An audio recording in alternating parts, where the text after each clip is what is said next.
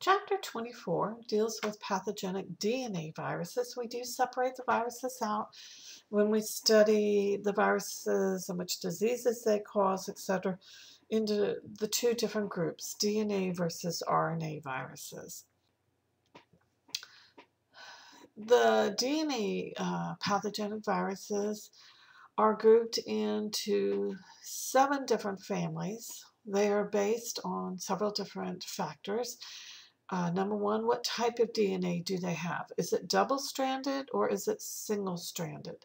Remember, in most biology courses, you learn that DNA is always double-stranded, but viruses are different. Number one, they never read your biology book. They don't care what's in your biology book, so they don't know they're supposed to all be double-stranded. There are some that are single-stranded.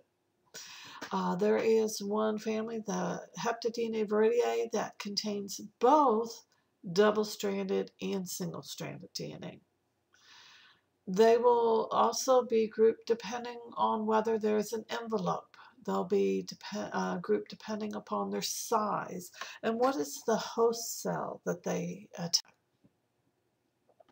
We're going to stop, start with the Pox viridae. These are double-stranded DNA viruses. All the ones we talk about in this chapter are DNA. Uh, this family does have, the viruses, they do have a complex capsid. They do have envelopes. They're very large in terms of viruses. They can infect many different mammal species. Most of the animal pox viruses are species specific though. Um, some of them cannot infect humans. Why? Because remember, there's has to be a receptor on the human cell that allows for the virus to attach before it can even penetrate the cell. So there's some specificity there. Uh, for the pox viridae, most of them, the infection is, uh, the mode of entry is due to inhalation of the viruses. You typically have to have close contact. Um, one of the main diseases with smallpox. They tend to produce, uh, pox viruses tend to produce lesions as it progresses through various stages, and that's part of where it gets its name from. So you can see on this picture of electron micrograph, because remember you've got to have electron microscope in order to see the, the viruses. They are so small. This is considered large in terms of relative size for viruses, but you can definitely see uh, that it does have an envelope. It does have a large capsid around it. In terms of the stages of the lesions that's going to be formed, if we're looking at a cross-section of the skin, First, you get kind of a little bit of a swelling, uh, which is called the macule, reddening to the area, and then increased swelling, that's the papule. Now you finally, in third stage, get a vesicle that's formed that has fluid in it. It's raised. You definitely see it. Uh, it'll be sore to the touch because that vesicle with the fluid in it is taking obviously up space, the skin is stretching around it, it's pressing against some of the nerves.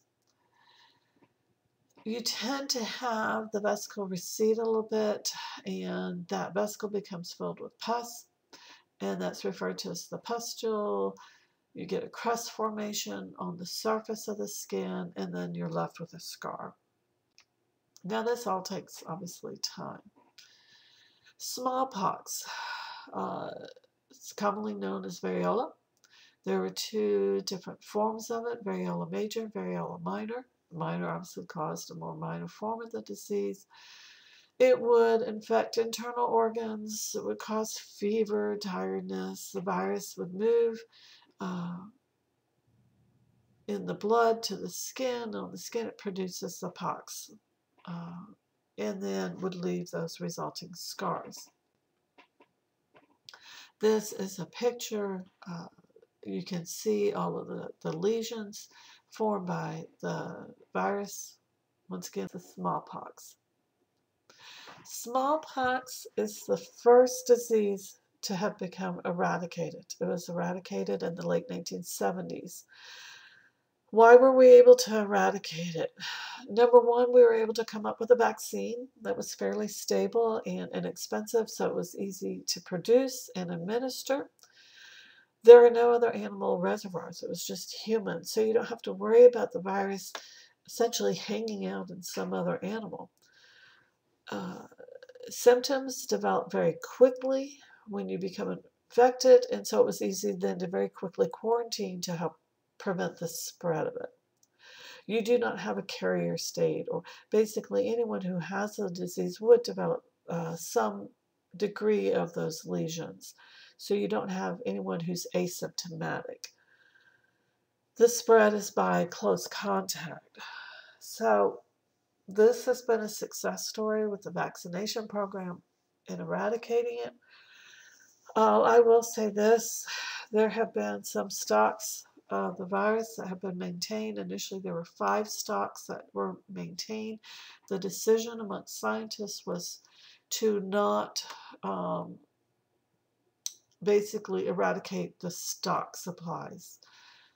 Once it's gone, it's gone. That's it. You, you can't bring it back. And so there were five stocks, including the United States and Russia and three others, that have been maintained. Uh, there has been some concern with the fall of the Soviet Union as to what happened to their, their stock of the smallpox. Have they been able to account for the whereabouts of that? And there are some people who say yes, some people who say no. The concern is if it were to fall into the fault, the wrong hands, could that potentially be used then as a form of bioterrorist weaponry? Because it has been eradicated, the general public is no longer vaccinated against it. Why receive a vaccine for something that does not exist? And so they did stop the vaccination program. So some of us who are older, uh, I'm not saying I'm old, but some of us who are older do remember being vaccinated against smallpox. The younger generation is not. Now, the military still does. Um, but in terms of just general health care, etc., this has been a success story that we they were able to eradicate it. Like I say, there were several factors that played a role in that. They've been working on trying to eradicate some other diseases, as we'll talk about. Um, but as of yet, we have not been successful. It gets harder when, say, you, you throw in there another animal reservoir where it can hang out, or you throw in vectors, you throw in having individuals who are asymptomatic who could be acting as carriers, infecting others unintentionally that makes it harder then to control. Another uh, type of poxvirus, we're all within this family, Poxviridae, is mollusca poxvirus, which does cause a skin disease. You tend to have these smooth, waxy papules. Um, it tends to be spread by contact with an infected individual. Uh, it can be transmitted uh, between individuals who are sexually active. Uh, treatment's going to be involved removing that infected uh, nodule. If you have a normal immunity, normally you heal fine without any treatment. And this shows uh, the lesions that are formed by it. There are some other poxvirus infections that occur in other animals. And in order for it to be transmitted to humans, you would have to have contact with the infected animal. So even if it does happen, it's usually very mild type of infection. Edward Jenner used cowpox when he was trying to come up with his vaccination uh, regimen. He used cowpox to immunize individuals against smallpox. Herpes viridae is a linear double-stranded DNA virus. They do have uh, envelope capsid. the virus envelope has to fuse with the cell membrane in order to gain entry into that host cell. This is one of your most common uh, DNA viruses. It often can be latent or dormant where it remains inactive in the infected host. So it infects the host and then it just kind of hangs out there. And then it can be reactivated later on and then you have a recurrence of the disease. The different species of it, even though we often don't necessarily talk about species per se with viruses of different strains, uh, they'll use HHV and then a number. And the numbers indicating the order that they were discovered. So, humans, human herpes virus 1 and 2 often will cause skin lesions, uh, very slow spreading It used to be known as herpes simplex, uh, but now it's human herpes virus 1, human herpes virus 2. After that primary infection, then once again, the viruses, as I said, they can remain dormant or latent is the term we would use, and they remain latent in the ganglia, the nerve and then can be reactivated later on. So this is showing some of the sites where the herpes virus can remain, uh, where it can become infected and then remain latent. Types of infections caused by HHV1 and HHV2, oral herpes, genital herpes, ocular herpes, Whitlow, and neonatal herpes. Oral herpes, uh, typically the human herpes virus 1 or HHV1 can cause uh, what's known as fever blisters or cold sores in the oral cavity that can cause infections along the gum line. It can also cause infections in the pharynx. And here is an example of oral herpes lesions. Genital herpes, HHV causes the majority of these. These tend to be very painful lesions. They're on the genitalia. Uh, they can also cause oral lesions if, and be transmitted uh, by oral sex. Here's an example of the lesions, genital herpes. Ocular herpes, uh, this is infection with the eye. Usually it's just one eye that's going to be infected. And the symptoms, oftentimes the eye uh, may be more sensitive to light. It's going to have some pain. It has kind of a gritty feeling to it. Uh, you need to be careful that you don't uh, cause lesions on the cornea. So here's an example. Whitlow is when you have a, a blister that becomes inflamed on the finger. It can be caused by HHV1 or HHV2 when it's entering the skin. That's the point of entry. Um, this tends to be more common in children and also, unfortunately, healthcare workers. As you can see, the inflammation and swelling and lesions on the finger. Neonatal herpes, most babies become infected during birth. This infection can be severe a newborn's immune system is not 100% working yet, and so any infection is going to be more severe in a newborn. they will usually try to, uh, if they know the mother is infected, uh, then they may consider doing a C-section versus having a natural childbirth to prevent the infection passing from the mother to the child.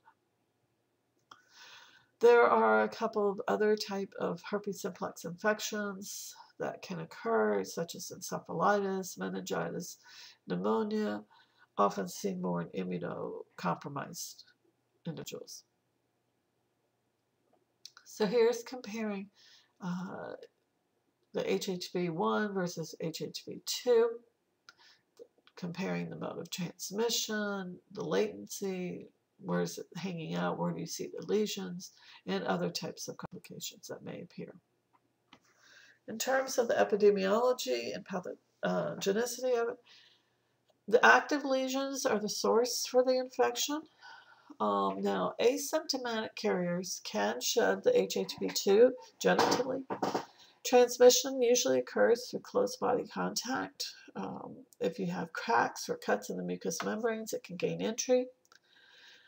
Uh, the virus can spread cell to cell HHV1 infections can occur, uh, be transmitted by casual contact with children. And most of your HHV2 infections will occur between the ages of 15 and 29 from sexual activity. In terms of diagnosis, usually the lesions are very uh, helpful in making that diagnosis. Uh, infections, the infections can be treated somewhat with um, various drugs. It can help limit how long the lesions are going to last and it can reduce the amount of virus shedding. You don't cure the disease or eliminate the virus, but you can reduce the amount of time that you would be considered contagious.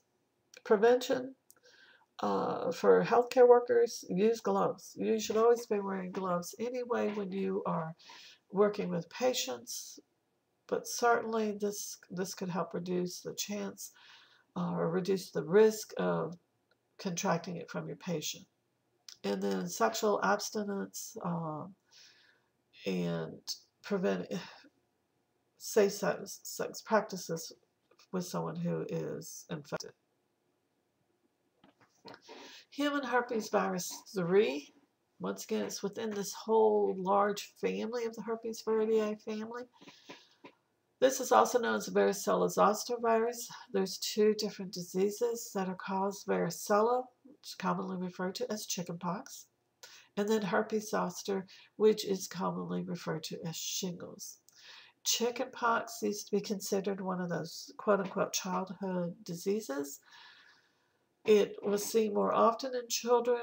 In adults, a very severe uh, much more severe illness in adults than it would be in children. Shingles used to think of it as in older adults. Um, unfortunately, we are seeing younger and younger people develop shingles. Chickenpox is very, very infectious. The virus enters the skin through usually the respiratory tract, but can also be through the eyes. From the site of infection, it can get in the blood and travel throughout the entire blood. Your classic skin lesions, those pox, typically were, will appear about two to three weeks after the infection. The incubation time period is 21 days. Like I said earlier, the, the disease is relatively mild in children as compared to adults. Uh, Usually the pox will first be seen on the scalp and it tends to move from the top of the body down. the pox, just so you know, can't appear anywhere.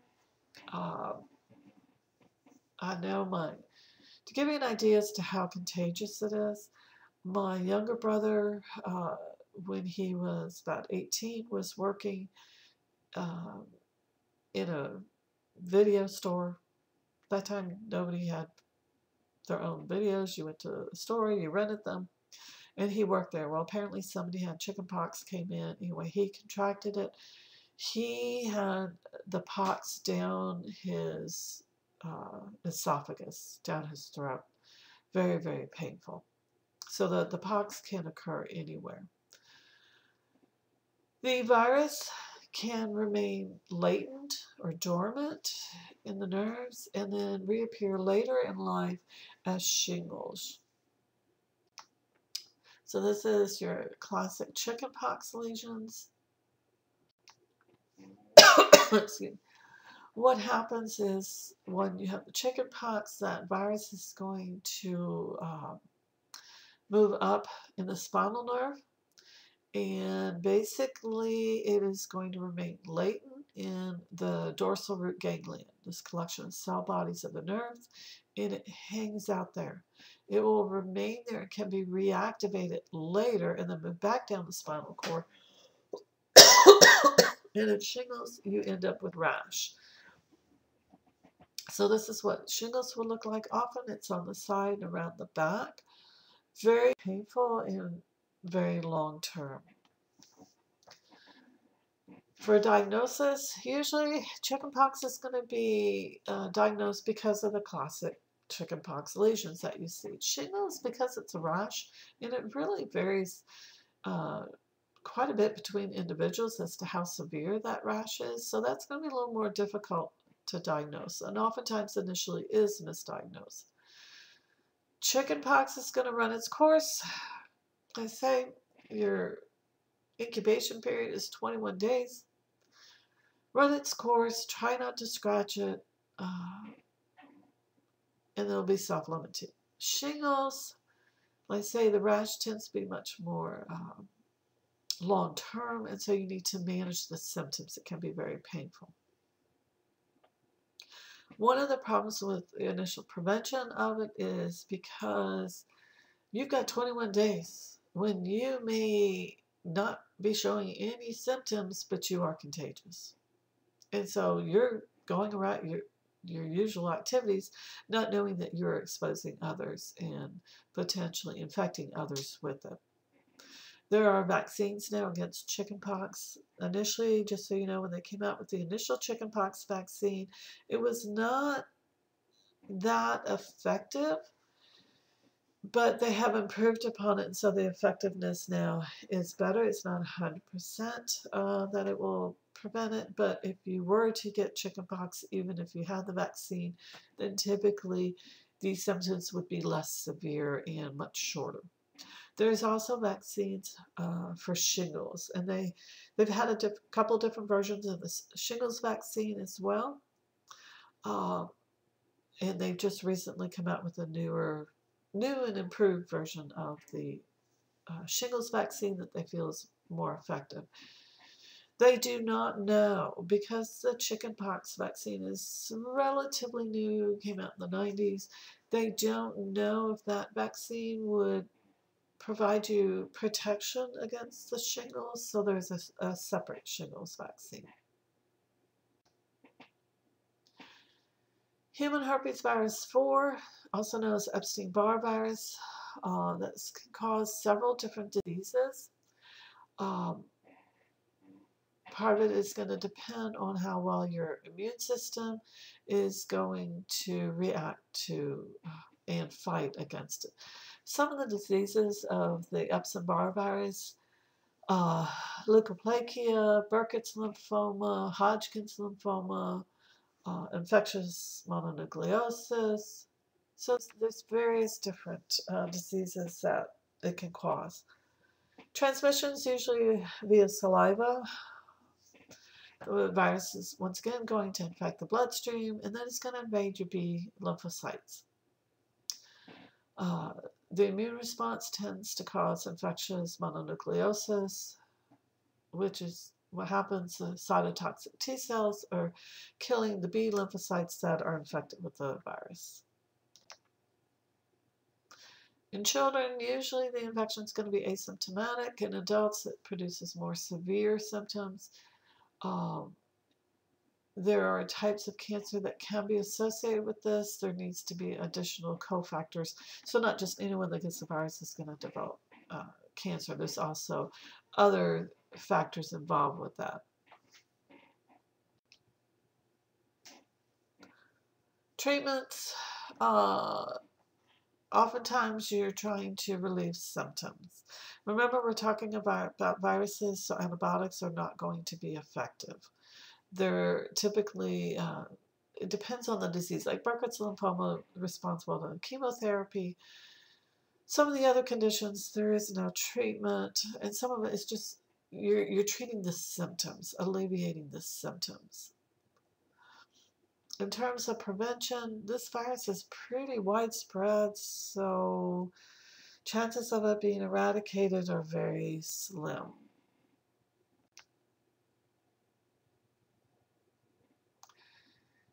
Human herpes virus 5, known as cytomegalovirus or CMV. Um, a lot of adults in the United States are infected. Um, in terms of the transmission of it, requires close contact, often done by uh, sexual intercourse. It can be transmitted. One of the big things with CMV is that um, it can be transmitted uh, in the uterus exposure. And the result to the developing fetus can be devastating. Most people, the infection, healthy individuals can be asymptomatic. However, this virus um, has crossed the placental barrier and, and infected the developing fetus.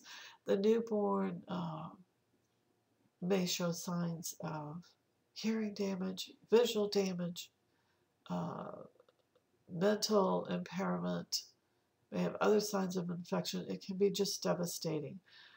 Uh, AIDS or immunocompromised um, patients can also develop mononucleosis, pneumonia, etc.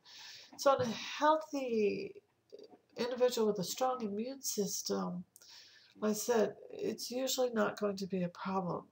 But if you're immunocompromised or newborn, I said, this can be devastating. Diagnosis, looking for enlarged cells that have these inclusions. You can also do, viruses are often detected by ELISA tests, DNA probes. Um, in terms of treatment, um, you can use some medicine to help treat if it's with, associated with an eye infection. In terms of treating the developing fetus, you can't really do that.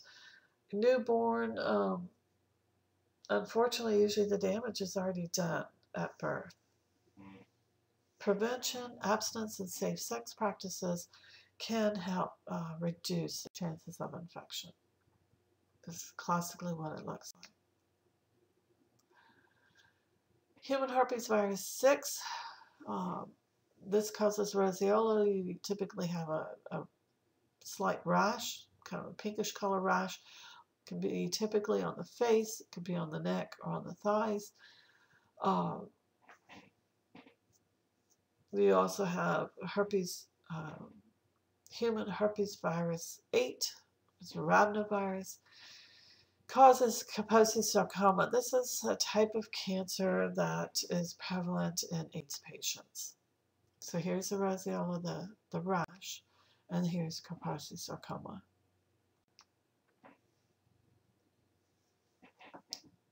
papilloma viridae and polyoma viridae is are both double-stranded DNA viruses. They do have very small uh, capsid.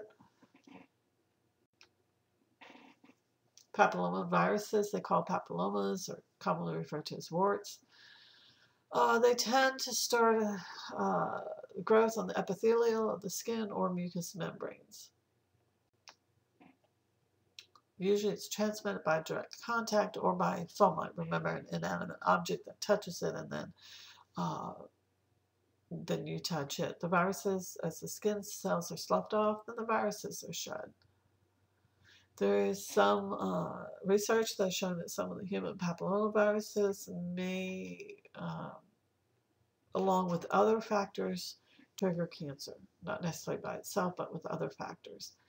Diagnosis is going to be by observation of the papillomas or the warts. Treatment, some warts can be removed uh, freezing, cryogenically, uh, chemically. Prevention is going to be kind of difficult. There is a vaccine that's associated with some strains, such as the human papillomavirus. Polyomavirus infections can cause tumors in animals and humans. Uh, usually a normal healthy immune system will prevent any type of a latent infection. If your immune system is compromised, however, then there often are latent infections, these infections that remain dormant, oftentimes in the kidneys. The BK virus can cause severe urinary tract infections, and the JC virus uh, tends to destroy the white matter of the central nervous system and eventually lead to death. Adenovirus, this is a single linear uh, double-stranded DNA. You have uh, a capsid that has spikes on it. What does it cause? It's one of the causative agents of a common cold. So it's going to be spread by respiratory droplets. It can survive on fomites. Um, it can survive in improperly treated water, so if it's not chlorinated. Causes respiratory infections. Uh, so you can have sneezing, sore throat, coughing. Uh, if it infects the intestinal tract, you might have a very mild case of diarrhea. If it infects the conjunctiva of the eye, you end up with pink eye. Their early stage infection you can treat with gamma interferon. The there is uh, a vaccine, but it's used typically only for military personnel. So this is what it looks like. You can see the little spikes extending out from the capsid. And excuse me, as you can see here, pink eyes, it's commonly referred to the conjunctivitis. Highly contagious. You rub that, touch anything else, somebody else touches it and rubs their eye, then they're going to end up with pink eye. Anyone who's had pink eye runs their household knows how contagious that can be. Hepadna viridae is enveloped DNA virus. Um, this is one that's um, kind of unique that it has both single and double-stranded DNA. Uh, it also does have reverse transcriptase. This is an enzyme that humans do not have. have. this does include the hepatitis B virus. Um, hepatitis, there are several different types of hepatitis virus, and hepatitis B is, is the one that is a DNA virus. So this is showing that has a long strand and a short strand. Hepatitis B does cause hepatitis, which is inflammation of the liver. Um, it's the only DNA virus that can cause that. As we'll see later, there are several RNA viruses that can cause it, but hepatitis B is the only DNA virus. Can cause severe liver damage. Uh, there's different symptoms associated with hepatitis. Jaundice, kind of this yellowing of the skin. Because the liver is inflamed, it's going to become enlarged. That's going to cause some abdominal pain. You may have some bleeding on the skin and internal organs. Um, will there be permanent liver damage? It depends. The increased risk of that is if the patient also has hepatitis D at the same time. One thing with jaundice, you typically get kind of a yellowing color of the skin. One of the places to especially look where you see this yellowing is in the one of the eyes, which this you can see. Severe case, you can tell the skin kind of has a yellowish hue around as you look towards the nose and above eyebrow. But one of the classic things is look at the white of the eye. If it's yellow like that, that is jaundice. Like say the liver has become infected, the virus can be shown in the saliva and semen, vaginal secretions, uh, any of the body fluids. So you need to be very careful with this and uh, this spread. It can be passed during childbirth to the newborn.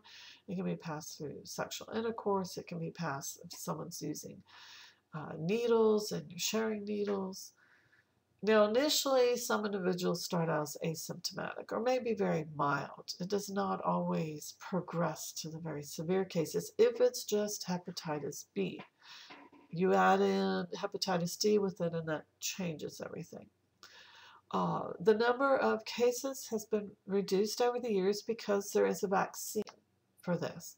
This vaccine was introduced in the mid to late 80s, and you can see how uh, the number of cases has dramatically decreased.